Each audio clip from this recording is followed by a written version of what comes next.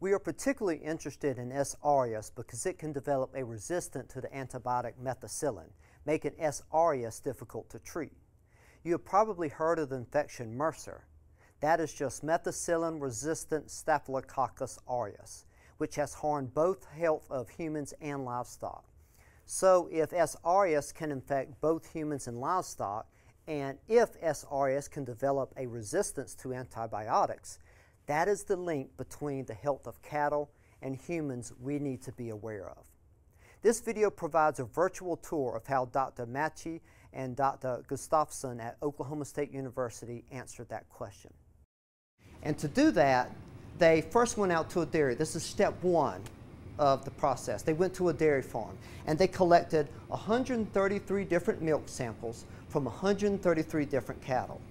Now, 33 of those cows were sick, so there was a good chance that there would be some bacteria in some of these milk samples. But remember, they're not, they're not interested in all the bacteria. They want to know is the Staphylococcus aureus, or S. aureus, in the milk? Is that the same species that infects humans? Well, to do that, the second step after you've got the milk sample was to put the samples in an environment that would encourage the growth of Staph aureus and discourage the growth of the other bacteria. And that setting that I talk about is something we call an agar. And we're going to show you there were two agars that they use, a Bard Parker agar and a mannitol salt agar. We're going to show you how the mannitol salt agar worked. So the first thing they did was they would take a milk sample and they would sterilize all the tools that you're going to use to do this. Make sure you don't bring in external bacteria and they're going to get some of the milk and they're going to put it on a plate. And on this plate is food for bacteria, particularly for Staph aureus, but it also has a very high concentration of salt. So a lot of bacteria would not be able to tolerate it, but Staph aureus can tolerate the high sample. And then we're going to take and we're going to put it in an incubator. And so after a while, they'll take the samples out. Some of those samples have that yellow streak. And when it has that yellow streak, the researchers think that there's a good chance that it contains Staph aureus. But good chance is not enough for scientists. They want to know with almost perfect certainty whether the Staph aureus species was in the milk sample. Once we have a colony of bacteria growing on our agar plates, then there's a good chance that that bacteria might be Staph aureus, but might be is not good enough for scientists. So what we want to do is we want to pull that DNA out of the bacteria and determine if that DNA is the same as the DNA that we know that's in Staph aureus. And specifically, what we're going to do is we want to look inside that bacteria's DNA and see if anywhere in a DNA strand, there's this identical sequence of 534 letters. If that sequence is there, you've got Staph aureus. Well, unfortunately, you can't just look at a strand of DNA under a microscope and it doesn't just scream out which letter it is. So instead, we use something called PCR. That stands for polymerase chain reaction. It's one of the greatest breakthroughs in science. It's going to make a copy of it and then another copy of that 534 letters, and another copy, and another copy. It's going to take that strand and amplify it millions of times, such that after only a day, you're going to have millions or more of this identical sequence of DNA. And if you do indeed find that, then you have Staph aureus. The ingredients of PCR are this. First, you have to have the DNA of the bacteria, and you extract the DNA from the bacteria using machines like centrifuges. Then you take primers. Primers are kind of like the instructions on what PCR should do. You add the primer to the DNA. Then you add nucleotides to the DNA. Nucleotides are the building blocks of DNA. And then you're going to add polymerase. And the polymerase is what does all the work. And after all those, adding all those ingredients together, if the bacteria is indeed Staph aureus, you're going to have more copies of this 534 letters that you know what to do with. So then the last step is to pull out one of those copies or several copies or more and see Is it 534 letters long? If it's 534 letters of long, long, you've got Staph aureus, and we found that the species of bacteria that infects humans can also infect dairy cattle. This brief animation will demonstrate how PCR works. You start with a whole DNA and heat it to 203 degrees Fahrenheit, which causes the two sides of the DNA to separate. We now have two entire strands of the DNA. Specially designed primers then locate a specific part of the DNA. The Taq polymerase then attaches to the primers and begins rebuilding the other strand of that DNA from the primer until the end of the strand. After the first cycle, we still have two complete strands of the DNA, but two lopsided strands as well.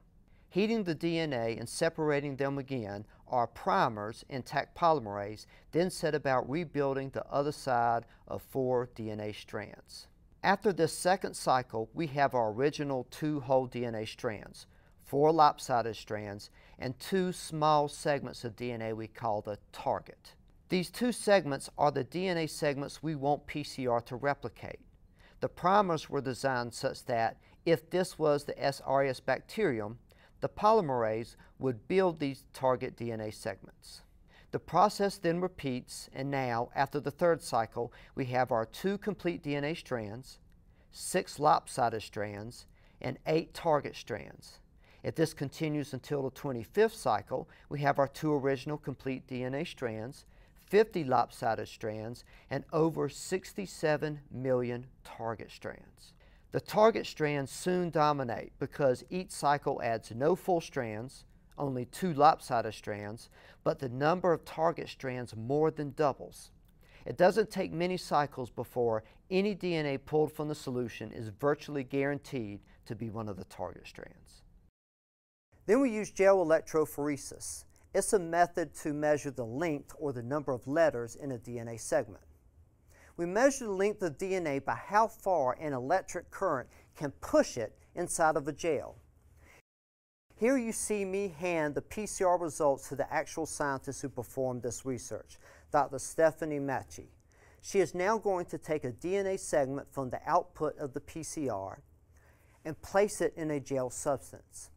Then she closes the lid and tells the computer to begin supplying the electric current for a specific amount of time.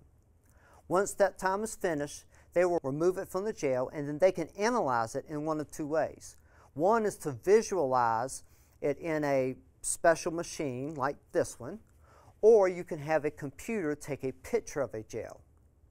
The five horizontal lines in the first and last columns are like measuring sticks.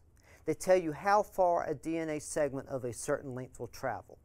For instance, one of the bars might denote the distance of a segment consisting of 534 letters. The horizontal lines in the middle are the DNA segments. Here's a clearer picture. In the second and third columns are horizontal bars indicating the length that two DNA segments traveled. The further up the segment goes, the smaller the segment is. When they analyzed the segment they acquired from the PCR and compared it to the measuring sticks on the sides, they concluded that the DNA segment was indeed 534 letters long. That was proof that the bacteria in the milk sample was indeed S. aureus. Finally, we may want to ask whether this S. aureus is resistant to certain antibiotics. The method for testing this is simple. Put antibiotics on the bacteria and see if it kills it. What you see here is a picture of a petri dish that has had a bacteria colony grown all over it. The solid small circles are where researchers added antibiotics. Some, like the one labeled A, has a large kill zone around it, a large dark circle, where the lack of streaks indicates that the bacteria are no longer growing on it.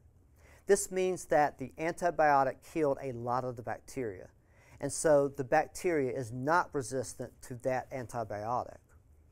However, look at B with almost no kill zone around the circle. That means the antibiotic was ineffective and thus the bacteria was resistant to that antibiotic. The field of biochemistry and molecular biology changes fast And in just a few years, researchers will use different tools than those described here. For instance, instead of using PCR and gel electrophoresis, they will just sequence the whole DNA, thereby acquiring not just one segment of the DNA, but the whole thing. Still, what we have learned today is helpful in understanding those new technologies. The Sanger method of sequencing the entire DNA, it uses PCR, for instance. Although the ion torrent technology for DNA sequencing does not use PCR, it does use polymerase. Moreover, understanding PCR is useful for understanding all DNA studies, whatever methods are employed. PCR played a part of beef production when they discovered the gene causing birth defects in one particular red Angus bull. And PCR was one of the tools used to identify the gene for tender beef and cattle. Rice farmers in developing countries now have access to rice seed that will patiently remain in the soil dormant during prolonged floods, sprouting when the waters have receded. After identifying the gene sequence that makes some plants possess this trait, they inserted this sequence into more popular rice plants. It took only four years between the time this gene sequence was identified before it was available to farmers, and PCR deserves some of the praise.